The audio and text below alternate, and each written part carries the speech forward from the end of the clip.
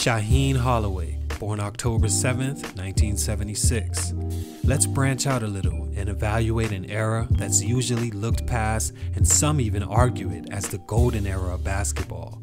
With what MJ, Hakeem, Shaq, Iverson, and others were doing in that decade, that could be a very strong argument. As far as college basketball is concerned, it just may have been.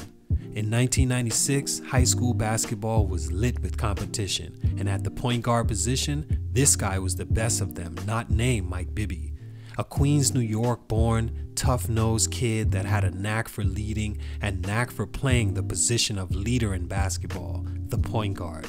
If I told you that in the 96 McDonald's All American game, which featured Tim Thomas, Jermaine O'Neal, Richard Hamilton, Mike Bibby, Ronnie Fields, and Kobe Bryant, Holloway walked away with the MVP award, would you believe it?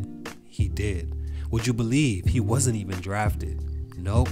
Why? Let's get into it. Salute to Eugene Spruill and my man Andrea Barzino for this request. It's your boy JC Stunted Growth. Let's get it, man.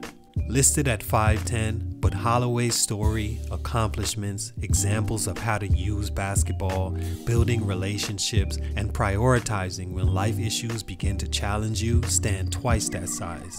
I have to preface what I say later with this because in no way do I want to offend, disrespect, or misrepresent this guy's name because I truly admire the man he's become and his mindset when he speaks about his career and possible stunts. Those stunts may surprise you, and no, I don't think height had anything to do with it. Stunt number one Seton Hall.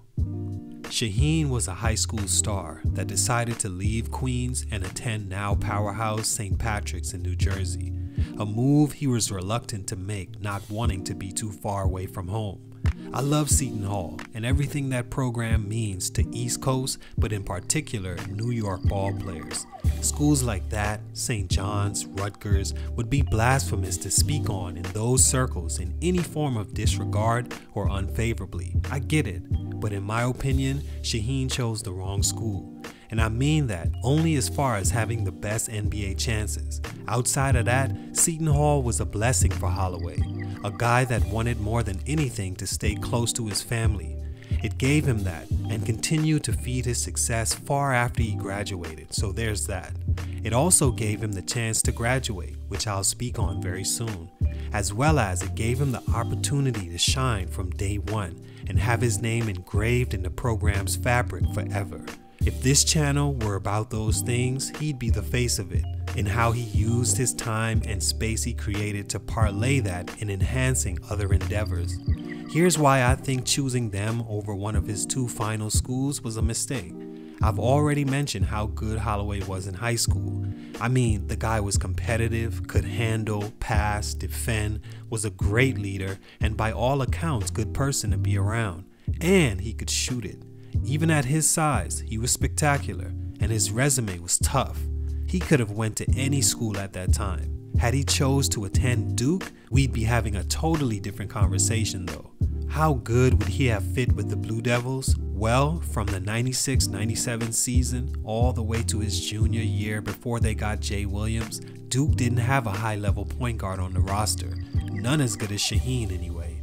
In 1999, they lost to number one UConn by three points in the national championship game, a season where Holloway was at Seton Hall having his worst year as a Pirate. They could have definitely used each other from that span, and it's interesting he didn't choose them in the first place.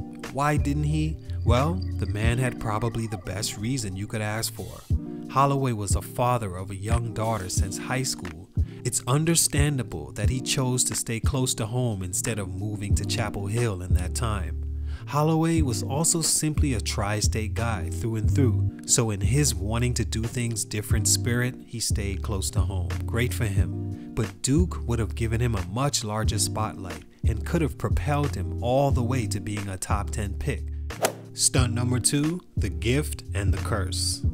Holloway, side note, I can see this guy's name incorporated in so many battle rap lines is crazy. Crazy. Anyway, Shaheen went on to Seton Hall and was a star from day one. So much so, I don't even think he expected to come in and have the freshman year he did. He was fifth in the Big East Conference in scoring. He was selected Big East All Rookie Team and the All AAC team. Averaged 17.3 points and 6.3 assists a game. He didn't shoot the ball well by any means, but even so, he could have gotten drafted had he left early. The gift is being able to say that you set the bar for your family and community by staying four years and graduating, building relationships, developing certain skills further.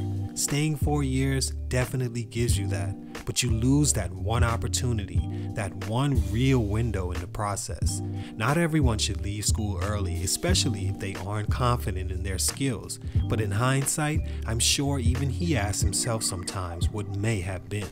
The curse became while he gained those things previously mentioned, he came back to school and had two of the worst things you could possibly want happen happen stats falling off and injury.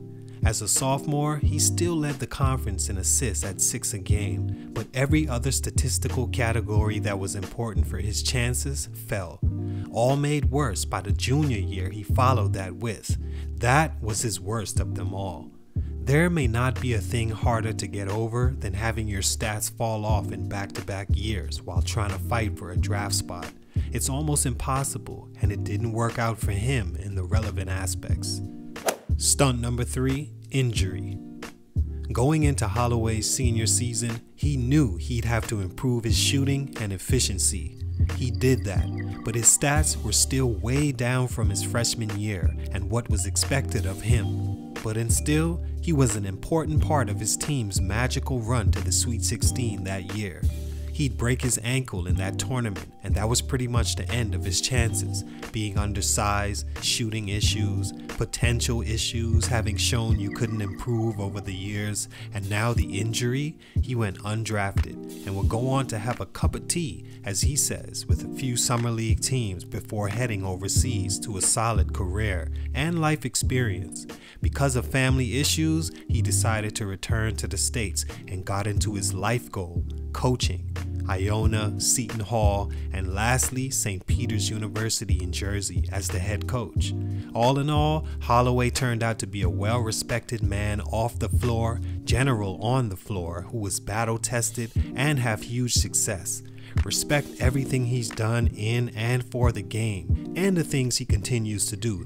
But for these reasons, I think his growth was stunning. It's your boy JC Stunted Growth, and I'm out.